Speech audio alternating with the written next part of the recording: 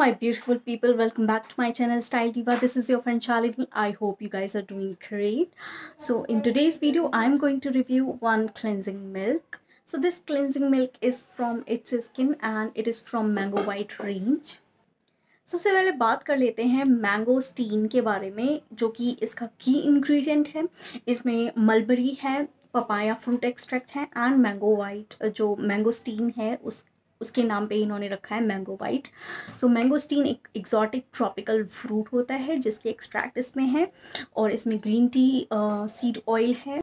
इसके अलावा इसमें ग्रीन टी एक्सट्रैक्ट भी हैं सो काफ़ी अच्छे होते हैं जो कि स्किन के लिए.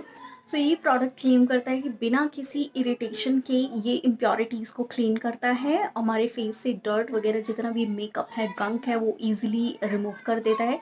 सो so, आज मैं डेमो भी करके दिखाऊँगी आप लोगों को इस क्लेंजिंग मिल्क का। तो चलिए शुरू करते हैं। और डेमो दिखाने से पहले सबसे पहले इसकी पैकेजिंग के बारे में बात कर लेते हैं। कुछ इस तरीके का दिखता है। इसका वन फोर्टी एम की क्वांटिटी इसमें है। पम्प पैकेजिंग में आता है और कुछ इस तरह का इसका टेक्सचर है यहाँ पे देख रहे होंगे आप थोड़े थोड़े हल्के हल्के से इसमें स्क्रबिंग पार्टिकल्स हैं जो कि मलबरी या मैंगोस्टीन के यू नो पार्टिकल्स हो सकते हैं। सो so, ईज़िली आपको पंप से इसको निकाल लेना है और इसकी ये कंसिस्टेंसी है। ये थोड़ा सा रनी है एकदम थिक नहीं है। और इसमें जो बीट्स दिख रहे हैं हल्के हल्के वो कोई स्क्रबिंग पार्टिकल नहीं है मैंने अभी नोटिस किया। वो ईज़िली इस क्लिनजिंग मिल्क में यू नो मिक्स हो जा रहे हैं। ये कितना रनी है देखिए इस तरीके से यू नो रन हो रहा है इसको मसाज करते करते। बॉडी की हीट से ये मेल्ट होने लगता है बिल्कुल। देखिए।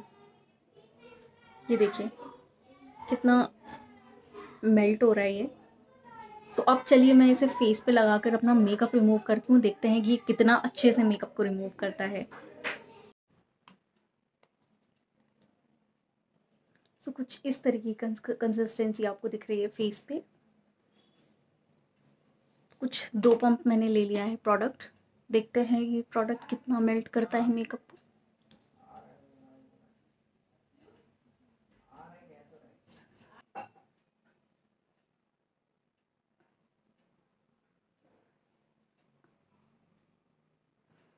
I'm looking like a ghost now.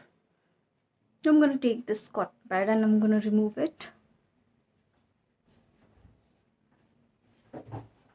So ये देखिए इतना मेकअप रिमूव किया है इसने और लेकिन मैं फिर से इसको फेस पे लगा करके देखना चाहती हूँ कि मे, मेरे फेस पे मुझे लग रहा है अभी फिर से मेकअप थोड़ा है अभी। सो मैं फिर से मसाज करती हूँ।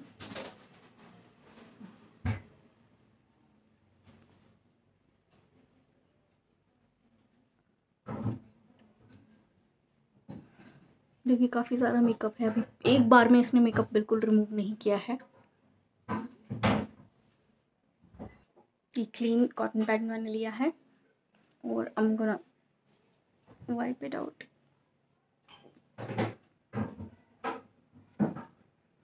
Oh my god. एक बार में ये बिल्कुल भी मेकअप को अच्छे से रिमूव नहीं करता इसको बार बार मैं ले रही हूँ और लगा रही हूँ और रिमूव कर रही हूँ।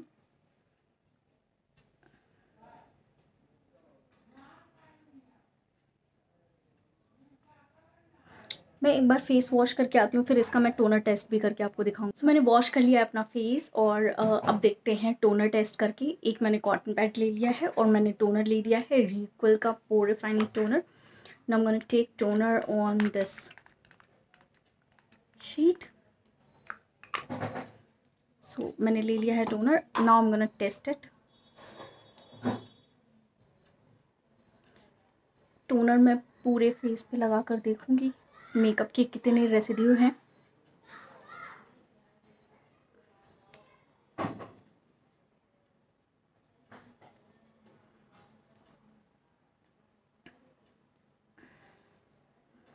तो ये देख सकते हैं आप।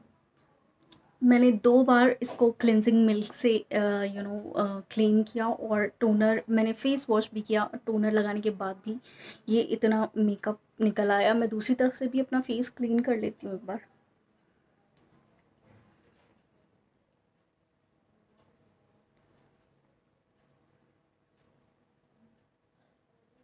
तो ये cleansing milk is okay for daily makeup use लेकिन अगर आप थोड़ा सा भी हैवी मेकअप करते हो, ये बिल्कुल अच्छे से काम नहीं करेगा। तो मेरे लिए ये प्रोडक्ट ओके ओके है। प्राइस पॉइंट से अगर मैं बात करूँ इस प्रोडक्ट की तो ये प्राइस ही है, जिस हिसाब से ये, इसका प्राइस है, ये उतने अच्छे से काम नहीं करता है। मैंने इससे पहले एक मेकअप रिमूविंग बाम का रिव्यू किया था प्लम का जो है, वो इससे फार बेटर है और प्राइस में भी अफोर्डेबल है। सो अगर आपने वो वीडियो नहीं देखा है तो आप वो वीडियो जल्दी से देख लीजिए। सो ये था मेरा रिव्यू आज का और डेमो इस प्रोडक्ट के लिए। सो ये प्रोडक्ट मैं उनको रिकमेंड करूँगी। जिनको ज़्यादा मेकअप नहीं करना होता है, थोड़ा मेकअप करना होता है, बहुत ही हल्का मेकअप सो so, वो इसे यूज़ कर सकते हैं बिकॉज़ ये काफ़ी अच्छा है काफ़ी माइल्ड है और सेंसिटिव स्किन के लिए अच्छा हो सकता है। But for heavy makeup it is not for that so that's all for this video guys मैं मिलती हूँ आपसे नेक्स्ट वीडियो में। Till then bye take care